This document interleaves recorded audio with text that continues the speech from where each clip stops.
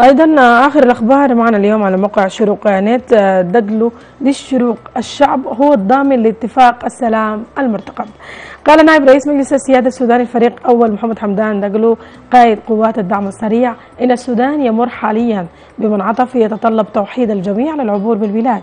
مؤكدا أن الشعب السوداني سيكون هو الضامن للاتفاق المرتقب توقيعه مع حركات الكفاح المسلح بجوبا وهنا دقلو في حوار مع الشروق من مقر مفاوضات السلام الجارية حاليا في عاصمة جنوب السودان. الشعب السوداني بمناسبة الذكرى الأولى لثورة ديسمبر المجيدة وقال إن السلام قادم لا محالة مشددا على ضرورة تكاتف الجميع من أجل تحقيق السلام المنشود. وأشار إلى أن اللقاء الذي جمعه مع رئيس الحركة الشعبية شمال عبد العزيز الحلو أخيرا في جوبا كان لقاء طيبا كسرنا من خلاله حواجز العزلة. التي كانت قائمة بيننا. وأضاف قائلا إن عبد العزيز الحلو رجل فاضل فقط كانت لديه تجارب مريرة. ووجه دقلو رسالة خاصة إلى رئيس حركة تحرير السودان في دارفور المتواجد حاليا في العاصمة الفرنسية باريس عبد الواحد محمد نور مفادها ضرورة أن يلتحق بمفاوضات السلام في جوبا. وتحدث نائب رئيس مجلس السيادة عن المخرج لمشكلة شرق السودان وقضية السلام مع حركات مع الحركات المسلحة وغيرها من القضايا المطروحة على الساحة حاليا. كيف تقرأ تصريحات؟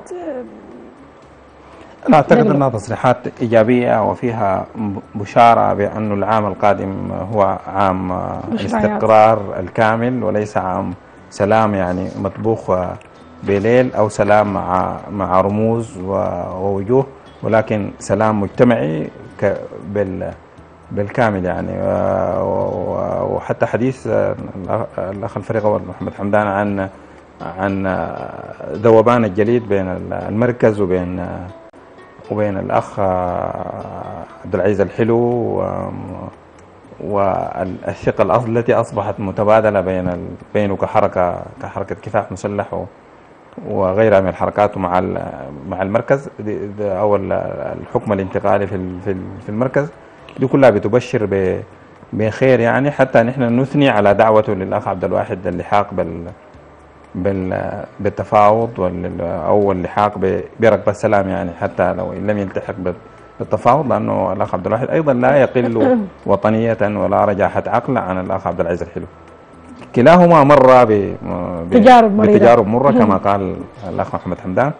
ونتمنى أنه يعني العام القادم نشهد فيه سلام حقيقي على على الأرض ونشهد فيه شكل من أشكال الحكم المركزيه حقيقة توفي بأغراض الناس وتمنع قيام لأنه لأنه حقيقة المشاكل في المركز ظلت منذ الاستقلال يعني.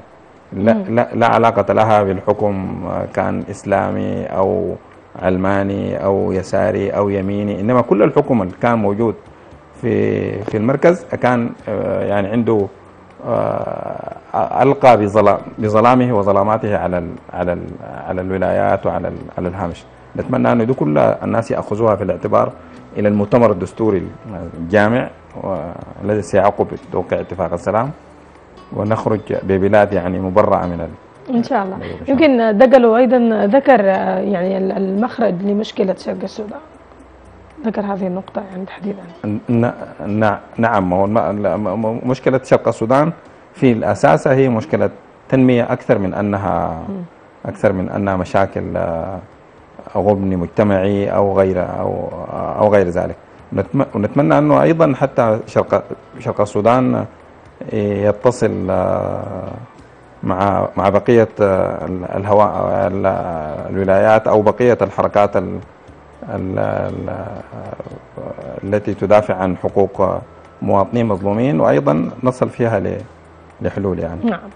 إحنا شاكرين كثير جدا أستاذ الشيخ يوسف رئيس تحرير موقع شروق نت على هذه المساحة التحليلية لاهم الأخبار اليوم. شكرا لك. شكرا لكم كثير خير.